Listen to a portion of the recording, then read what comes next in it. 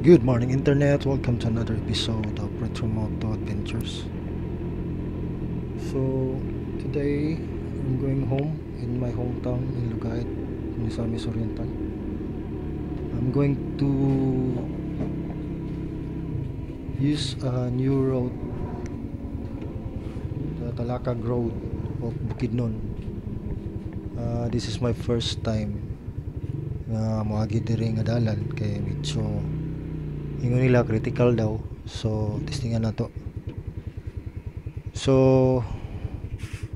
patubil sa ta. Ang i-full tank nato 300 ang full tank ani nga tank is around 500 so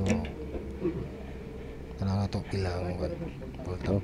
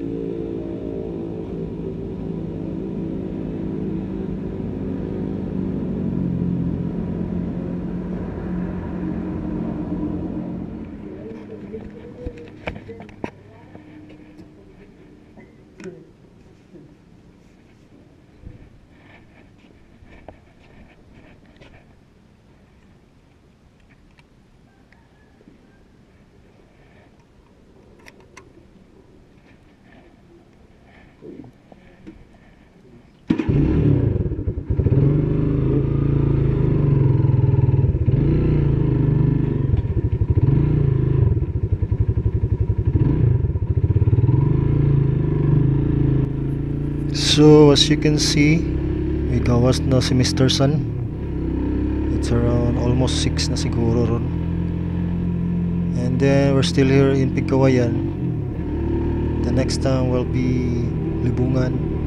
Then Alamada din, Banisilan. And Wao, which is already part of uh, Lana del Sur. So after that, we're going to Bukidnon Kalilangan.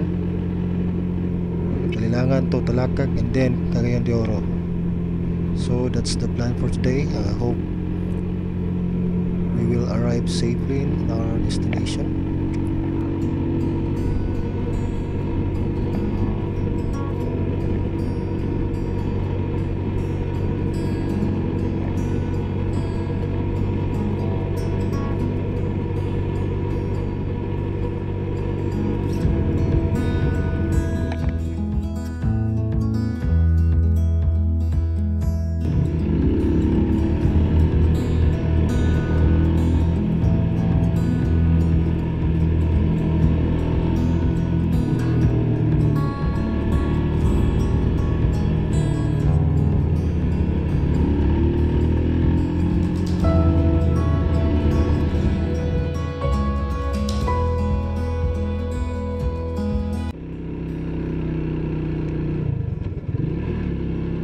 So, muli katong pasaka sa Rangayin. We've been here before. And, yeah, this is the road going to Rangayin. Uh, nagkahana na itong lapita. Nakaspend na ito one night lang. Which is tugnaw gid siya. Honestly, ang pasaka is uh, wala siya problema. Ang problema diri ang pagpadulog medyo taas-taas siya nga dulog and then may sharp turns. So sa Pasaka okay lang. Dili ka siya kuyaw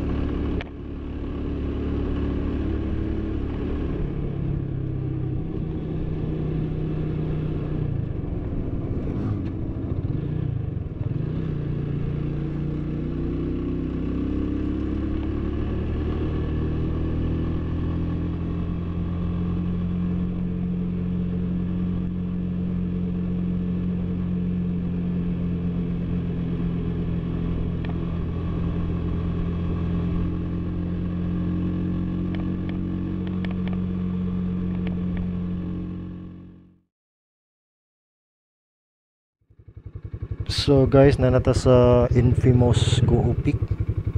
Dira sa unahan na steep kay na kuandra road pababa padong sa giling. Uno taga tre para ginawa ta kamay. Kay medyo adlok gid siya. Samot na buka